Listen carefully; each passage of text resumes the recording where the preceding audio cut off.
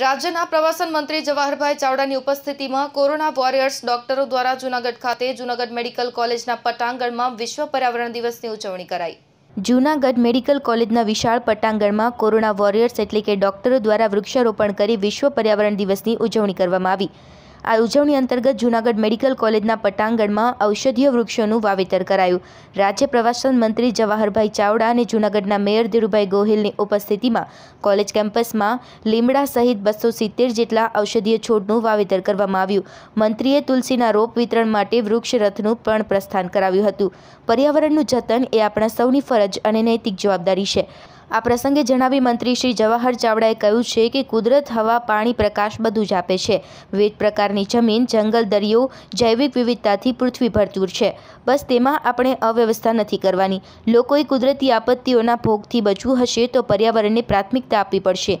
મંત્રીશ્રીએ એકલો માણસ પર્યાવરણ જાળવવા શું કરી શકે તેના વિવિધ દ્રષ્ટાંતો આપી સૌને પર્યાવરણ જાળવવા માટે અનુરોધ કર્યો. વર્લ્ડ પર્યાવરણ દિવસને સારા દિવસે જુનાડ મુકામે જીએમઈઆરએસ ખાતે અમે ભેગા થયા હતા. પર્યાવરણ બાબતની અમુક વાતો કરી. પર્યાવરણ એટલે બે વસ્તુ આપણે કહી શકીએ.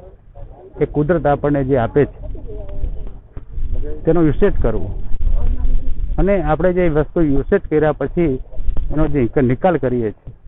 કરીબ બસો કિલો પ્લાસ્ટિક તો અત્યાર સુધી એકત્ર કરવામાં આવ્યા છે અને હજુ એ કામ ચાલુ જ છે.